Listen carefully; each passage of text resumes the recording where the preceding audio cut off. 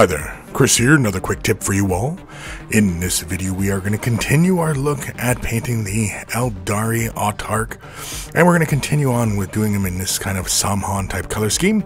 As you can see here, we still have the uh, feathers uh, not assembled to the rest of the model, and I've done the inner feathers the same way that we did the armor. And so if you're wondering how that armor was done, you can go back to the armor video. For the rest of the feathers, we're going to go with Abaddon Black. Use a little bit of the dampness of the brush just to uh, thin the color out just ever so slightly. And you can see here with the brush, I uh, shaped it into a bit of a chisel form, so it's kind of a flat edge, so that we can just simply cover each feather in the fewest amount of brush strokes, somewhat being kind of efficient with our, uh, our uh, paint here, as it were. And as you can see, we're just basically um, base coating the entirety of the feathers, and we're going to do this for the wings themselves as well once we're happy with a nice even coverage on there. Of course, uh, because I have the color thinned out just ever so slightly, you can see that we'll have to apply more than one coat. Next is Incubi Darkness. Going to slap a little bit of this onto our palette, and uh, we are basically going to just use the dampness of our brush. We're going to switch over to a detail brush here, and basically what we're going to do is we're going to go about halfway to about three quarters of the way down the feather and draw the brush stroke out towards the end. And we're going to alternate between every other feather, starting with that first feather on the forehead. Uh, we're going to alternate from that point. And so every other feather from that way back, we're going to give a little highlight here. Basically what we're doing is we're trying to keep the feathers stay somewhat dark, but kind of like how we had done the face. Uh, we're just basically just staying within that realm of this kind of off blue-gray kind of color. Stegadon green is next. And basically we're going to use our detail brush here, and we are going to go about halfway to about a quarter of the way what we had previously done. Again, finishing our brushstroke out towards the ends of the feathers. And of course, we are alternating between each feather again, starting with the feather uh, in the forehead. And as long as we're consistent, we will have consistent results. And of course, we're doing the same thing for the uh, feathers on the wings as well, starting with that lead feather uh, at the very top. And then, of course, we just alternate our whole way through, as you can see there. Next is Thunderhawk Blue. This is going to be our final highlight here, but we're going to snap a little bit onto our palette here, and we're going to switch off to a um, dry brush. Now, basically what I'm going to do here is I'm going to dry brush the entirety of the feathers. Now, I'm not too worried about the black, the feathers that were left alone that had no color on them other than the black. As uh, I'm, the next phase, I'm not too worried about this dry brushing step um, messing with it. So I just really am only interested in capturing the um, the feathers that we've already have a color applied, but we're not too worried about the uh, feathers that we haven't uh, put any color on.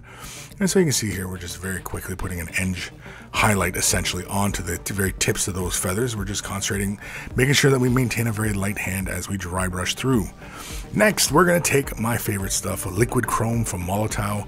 This stuff is fantastic. Basically, I'm to have a disposable little palette here, and that's uh, what I use to, uh, you know, just contain the uh, the color itself. It's a bit of a lacquer based paint.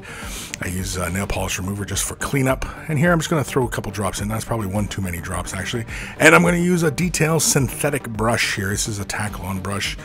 Uh, I can't remember which brand it is. I think it's like um, Vallejo or Army Painter, one of the two. But very careful here. I'm going to begin coloring in the feathers that we initially had left black and we're basically going to work our way through. Now, we are uh, a fairly heavy saturation in the brush itself. And you can see we kind of make a couple little boo-boos here and there, but don't worry, we can correct that later on.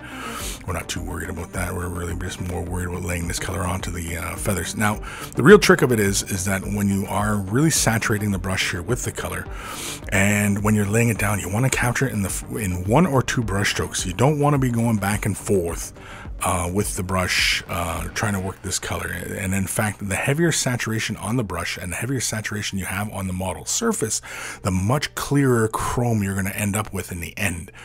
This stuff really works really well when you apply a very abundant amount on the surface. As you can see here with the feathers on the wings, here we got a couple little boo-boos here and there, but that's okay. We're going to fix those up later on. But you can see how nice and shiny that uh, chrome is. Here I'm just really quickly just going to show you guys how I just basically throw the thinner down on my palette. And then I just basically clean the brush off and just rinse it through the uh, thinner really quickly here. Uh, again, I really don't want to recommend using sable hair brushes for this kind of thing. I'd rather synthetic br bristles for that. And of course, I just quickly wipe up the excess um, pigment away. Next, I'm just going to come in with some Nuln Oil, and this is the gloss variety. This will sit on top of that chrome very well. Of course, I've left the chrome for about an hour or so. Uh, this chrome material uh, is best if you just leave it alone for a couple hours. If not, 24 hours is really, really the best way, just so that you don't um, put any fingerprints or anything like that on it.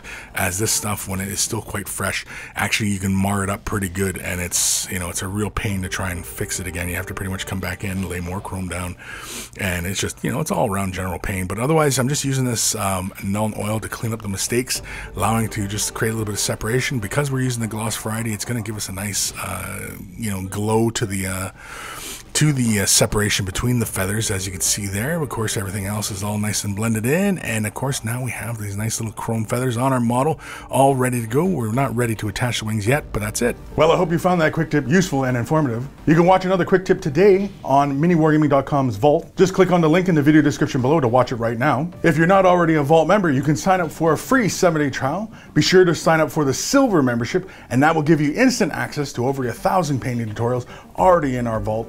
And again, thank you for watching, commenting, and subscribing, and happy wargaming.